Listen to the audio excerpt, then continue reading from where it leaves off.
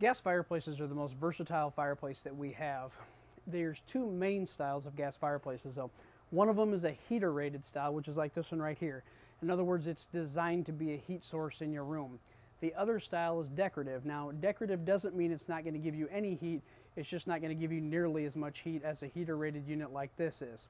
So some people ask, well, why would I not want heat out of the fireplace? Well, if you're building a brand new house that's very energy efficient and you have a living room in there that maybe isn't very large, you don't want as much heat out of your fireplace because if you have it on for a little while, something like this may drive you right out of the room because it's too hot.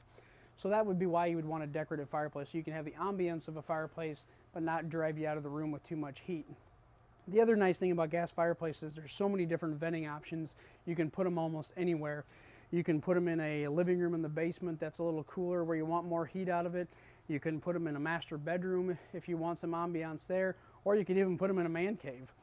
So basically with the fireplaces in so many different styles as well, you can get a traditional looking fireplace like this with the logs um, that's designed to give you a lot of heat. You can also get a very contemporary fireplace. Um, some people call them a fish tank fireplace where they're very long and narrow and designed more for looks.